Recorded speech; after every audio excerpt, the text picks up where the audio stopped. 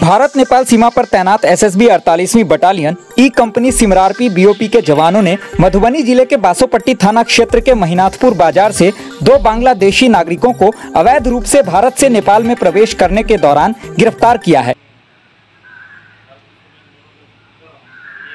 गिरफ़्तार दोनों बांग्लादेशी नागरिक बांग्लादेश के पंचागढ़ इलाके के रहने वाले बताए जा रहे हैं, जिनके नाम मोहम्मद तौरिकुल इस्लाम एवं मोहम्मद आलमगीर हुसैन बताया गया है। गिरफ़्तार बांग्लादेशी नागरिकों के पास से दो पासपोर्ट, दो वीज़ा, तीन मोबाइल फ़ोन, पाँच सिम कार्ड, एक चेक बुक आठ सौ दस भारतीय, चार हज़ार पाँच सौ तिहत्तर बांग्लादेशी मुद्रा, पाँच पाउंड ब्रिटिश मुद्रा, दो राष्ट्रीय आई कार्ड बरामद हुए हैं।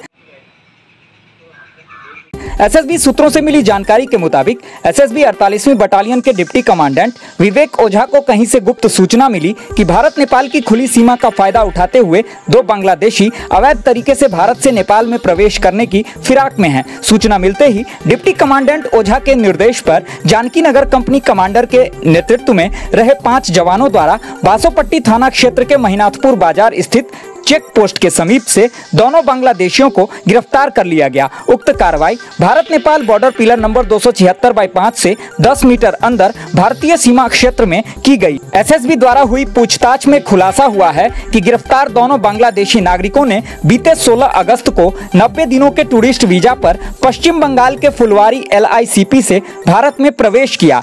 दोनों वहाँ सिलीगुड़ी के नवीन सेन रोड स्थित श्रद्धांजलि लॉज में रुके थे। सत्रह अगस्त को दोनों ने सिलीगुड़ी से मधुबनी के लिए बस पकड़ी थी। फिर वहाँ से एक ऑटो पर सवार होकर पहले मधुबनी से जयनगर पहुँचे, फिर वहाँ से दूसरे ऑटो से जयनगर से महिनाथपुर बाज़ार तक पहुँचे। यहाँ पहुंचकर वो जैसे ही नेपाल में घुसने की फिराक में थे कि एसएसबी जवानों ने उन्हें दबोच लिया। फ़िलहाल एसएसबी द्वारा औपचारिकताएँ पूरी कर अग्रेतर कार्रवाई के लिए दोनों बांग्लादेशियों को बासोपट्टी थाना को सौंप दिया गया है। इस बाबत एसएसबी 48वीं बटालियन जयनगर के कमांडेंट गोविंद सिंह भंडारी ने बताया कि एसएसबी भारत नेपाल सीमा पर होने वाली तस्करी और अन्य आपराधिक गतिविधियों की रोकथाम के लिए नाका पेट्रोलिंग सहित विभिन्न माध्यमों से लगातार प्रयासरत है। अवैध रूप से हो रही तस्करी एवं राष्ट्रहित के किसी भी खतरे को रोकने के लिए एसएसबी हमेशा तैयार है। मीडिया लाइव न्यूज़ के लिए ब्यूरो रिपोर्ट। वाह, सचमुच। बरसात के दिनों में तो गाँव के खूबसूरती में चार चाँद लग जाता है। हम बाकी इस चाँद पे ठनका का तो ग्रहण लगते रहता है। बाकी तुम दोनों मुर्गा क्यों बन गए भाई? अरे मुर्गा नहीं बाबूजी ये ठनका यानी वज्रपात से बचने का उपाय है। मतलब? मतलब ये कि वज्रपात के समय आप लोग एक समूह में खड़े होने के बजाय अलग अलग दूर खड़े हो जाइएगा।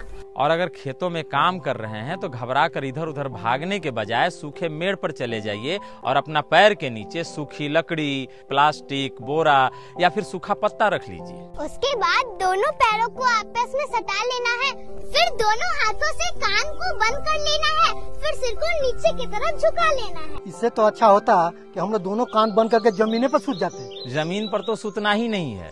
ऊँचा गाछ, जलाशय, पोखर और टेलीफोन या बिजली के खंभा के नीचे भी खड़ा नहीं होना है। काहे कि बिजली को अपना तरफ़ आकर्षित करता है।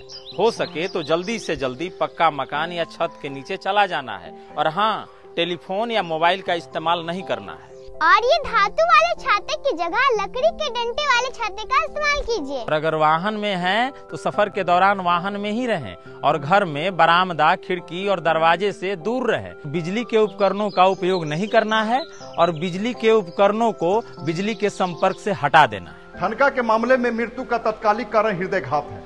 इसलिए अगर व्यक्ति के शरीर में विद्युत का प्रवाह न हो तो उसे तुरंत संजीवन क्रिया प्राथमिक चिकित्सा देनी चाहिए।